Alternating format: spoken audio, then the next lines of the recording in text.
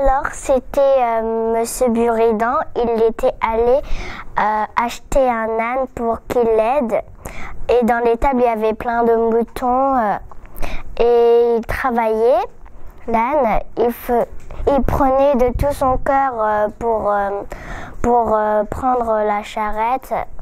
Et un jour, il était vraiment très fatigué. Alors, Monsieur Buridan, il était très inquiet. Il est vite allé chercher un seau d'eau et un seau de l'avoine. Il a posé devant euh, l'âne qui, était- qui était allongé. Et après, l'âne, il n'arrivait pas à se décider.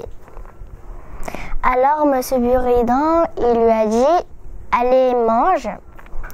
Quand le temps est passé, que c'était le soir, Monsieur Buridan, il est allé voir son âne, mais, mais l'âne, il était mort parce qu'il n'avait pas réussi à choisir euh, par quoi commencer à manger.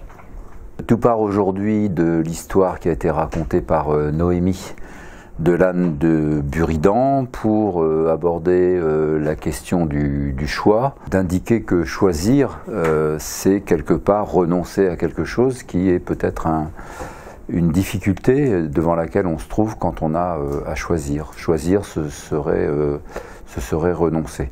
Et puis euh, de cette histoire, nous avons développé des choses qui renvoient plutôt à la logique, mais qui aident à, qui aident à montrer que quelquefois on peut être placé devant dans des situations euh, presque insolubles. Donc c'est le- l'âne de Buridan, il est dans un ce qu'on appelle un dilemme, et puis euh, nous avons abordé euh, le, paradoxe que Naël a, a décrit. C'est l'histoire d'un monsieur qui, en fait, qui est pendu à un arbre par la bouche.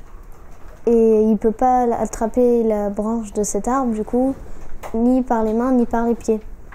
Et il y a un autre monsieur qui passe par là et qui lui demande bah, Monsieur, qu'est-ce qui vous arrive? Bah, du coup, en fait, c'est. Ce qui est paradoxal dans cette histoire, c'est que du coup, si s'il répond, bah, il tombe et il meurt. Mais du coup, il peut pas, il peut pas non plus faire les deux dans cette histoire. Il peut pas rester accroché à l'arbre et euh, parler. Et puis, euh, nous avons euh, évoqué ce qu'on appelle aussi en psychologie la double, la double contrainte. Et puis, enfin, euh, une technique qui nous vient, une, un- une méthode de pensée qui nous vient du Japon et de la Chine, qu'on appelle le, le koan.